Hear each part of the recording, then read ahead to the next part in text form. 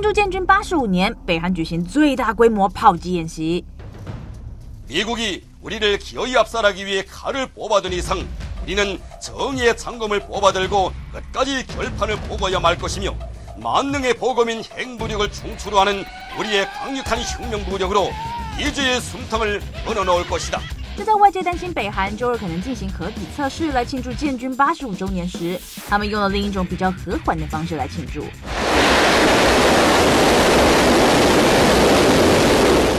是的，北韩军方的江原道原山市大举进行远端火炮实弹训练，领导人金正恩则在旁观看。最近川普啊已经盯上金正恩了，现在双方的一举一动都是全球的关注焦点。